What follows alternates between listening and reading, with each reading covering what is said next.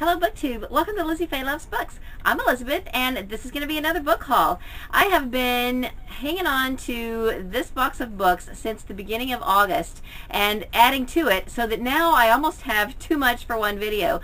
This is going to be a book haul predominantly of Christian fiction.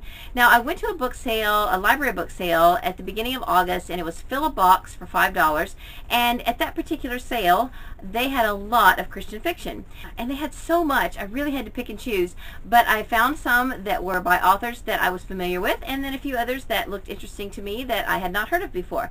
Then, throughout the month of August and September, I have run across several other Christian fiction books that I've added to my collection, as well as a few that I got free from our friends at the library, and so I want to show them to you. In fact, I got so many that I have taken out the ones that are Christian mysteries and cozy mysteries, and I'm putting those in a separate haul because I just didn't want to make this video incredibly long.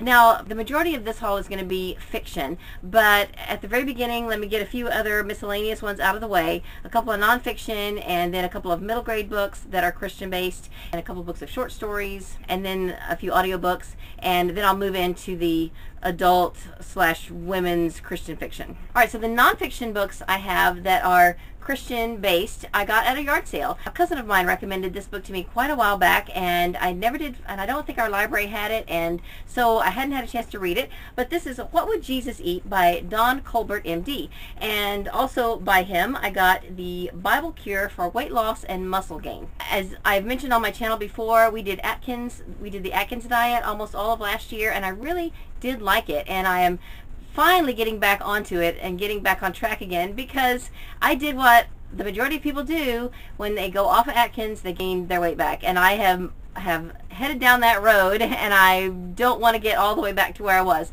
so I thought maybe something like this would motivate me to get back on track with the um, with the weight loss. I got a book about Fanny Crosby by J. Reginald Caswell.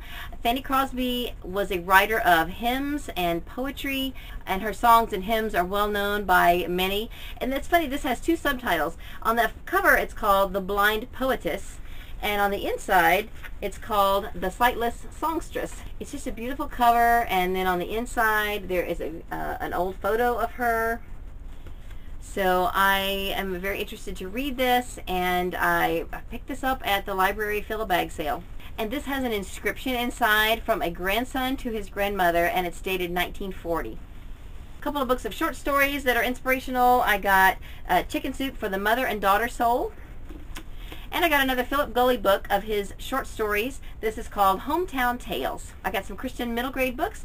I got two books by Janette Oke. I already had these, but my copies were in horrible condition, so I decided to go ahead and grab these. The Prodigal Cat and Spunky's Diary. I have read almost all of Janette Oke's series books. I have not read very many of her standalones, and I have not read these books for young readers. So I do hope to get around to reading these pretty soon. One other middle grade book, I found the first book in the Elsie series by Martha Finley. This is Elsie's Endless Wait. A couple of media items that I got. These I got, uh, I believe, at the initial fill a bag for fill a box for five dollar sale.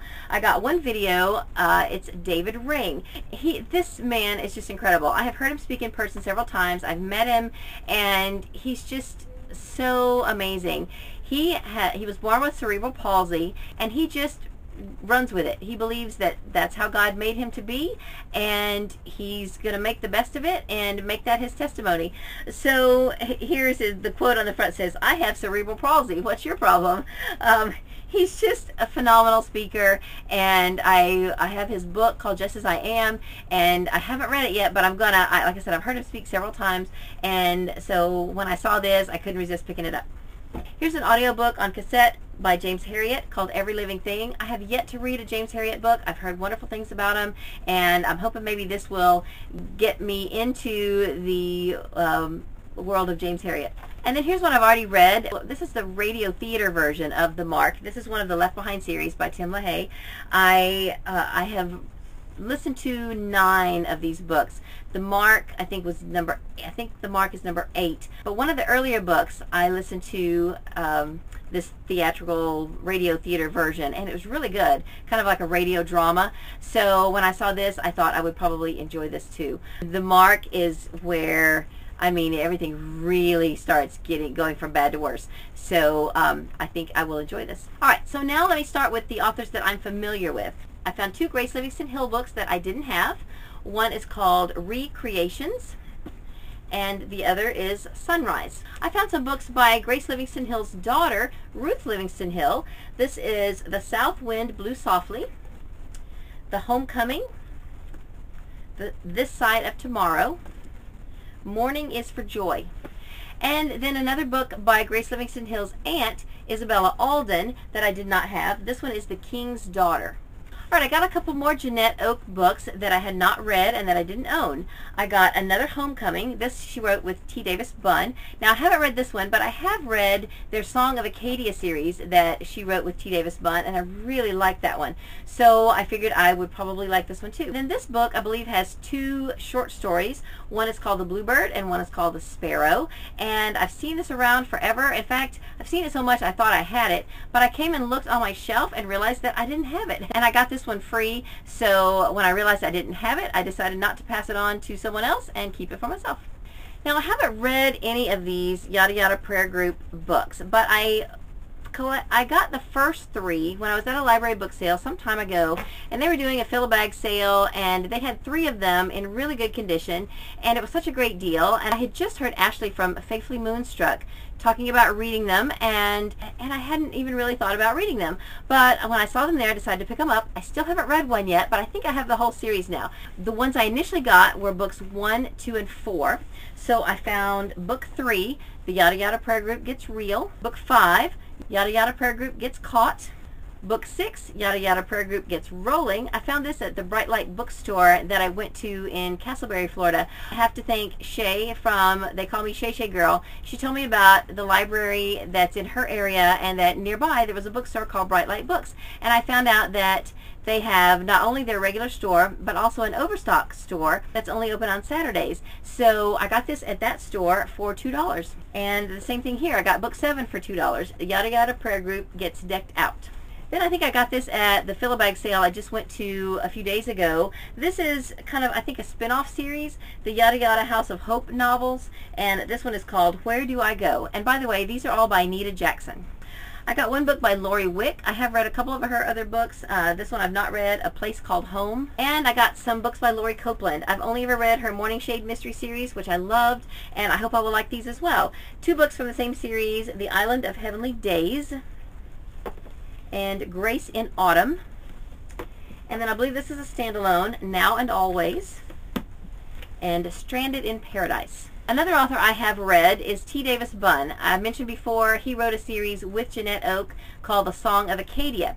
Well, when they finished that series, uh, Davis Bunn and his wife took up where that other series had left off and continued on with a spin-off series called Heirs of Acadia. Now, I don't have books 1 and 2. I believe these are books 3 and 4. The Noble Fugitive and The Night Angel, and they're by T. Davis Bunn and Isabella Bunn.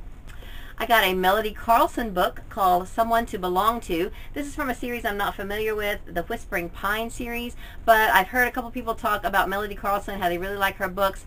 Um, the Reads with Pugs, she mentions, Mel she's always talking about Melody Carlson, and so I thought this would be good. And I've only read one book by her. It was called The Christmas Joyride, so I decided to pick this one up. This one looks like an Amish-themed book called The Tattered Quilt by Wanda Brunstetter. All right, I've got a few more, and they are by authors I have not ever read. Um, so if you've read any of these or read anything by these authors, let me know what you thought. I got a book called Bachelor's Puzzle by Judith Pella, and I believe this has some sort of a quilt theme because it says, uh, it looks like it's from a series called Patchwork Circle. And I found two books in a series I was looking for. I had uh, previously gotten book three in a trilogy called the Candlewood Trilogy by Delia Parr. Uh, it was in a bunch of books that I got free from my library, and then uh, and I decided to keep that one and look for books one and two. So I found Refining Emma at the big book sale at the beginning of August, and that's book two. And then just recently I found book one at the Kissimmee Fill-A-Bag sale, A Hearth in Candlewood. So now I have the whole trilogy, and I'm excited to read it. And I believe the setting of this trilogy is in a boarding house. I got Gardenias for Breakfast by Robin Jones Gunn, and this is from the Women of Faith fiction series. And then I think I actually got this one in July, but when I realized I was just going to do a whole Christian fiction haul, I decided to hang on to this one and put it in the box with the others. This is The Wedding Machine by Beth Webb Hart, and this is also from the Women of Faith fiction series. The rest of these are going to be from a series by a series that's published by Guidepost called The Tales from Grace Chapel Inn. And this one is by Annie Jones called The Time of Their Lives. I got this one at one of the many library sales that I went to. The rest of these I actually got from our church library. We are, our little church is disbanding, but we have a very nice library, and so the librarian decided to make the books available to members at uh, uh, each but each person could take 10 books. Well, Katie didn't want any, and Emily just wanted a couple of videos, and I was really interested in this Tales from Grace Chapel Inn series, and then also a Christian Cozy series that they had.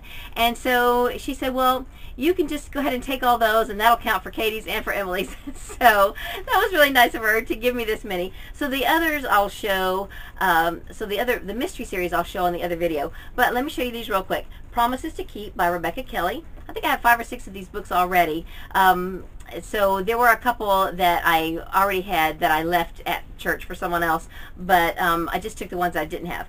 The Pipe Organ by Jane Orcutt. The Kindness of Strangers by Susan Meyer. Going to the Chapel by Rebecca Kelly. Life is a Three-Ring Circus by Rebecca Kelly. Home for the Holidays by Rebecca Kelly. Hidden History by Melody Carlson. The Start of Something Big by Sunni Jeffers. Portraits of the Past by Rebecca Kelly. Going, Going, Gone by Julian and William Sharp. Rally Round the Flag by Jane Orcutt. Slices of Life by Judy Baer. Tempest in a Teapot by Judy Baer. Recipes and Wooden Spoons by Judy Baer. And one more Melody Carlson. This one is called Winter Wonders. These are so beautiful. I love these Guidepost series books. They do such a beautiful job with their covers and they're so pretty to look at. And I've read a few already. Uh, I haven't read any of this series, but I have read a few of a different series that I've started. And uh, so far, I'm just in love with these Guidepost books. So I am excited to have these. Of course, when I'm done with these, I plan to pass them on to someone someone else and let them enjoy them too. But for now, I'm excited to have these on my shelf. So that's all for this video. As I said earlier, I'm going to have a Christian Cozy Mysteries video coming up soon. It won't be quite as big of a haul as this one, but if you're interested in Christian fiction, you'll want to check that out as well. So I hope you're having a great day. Read a good book, and God bless you.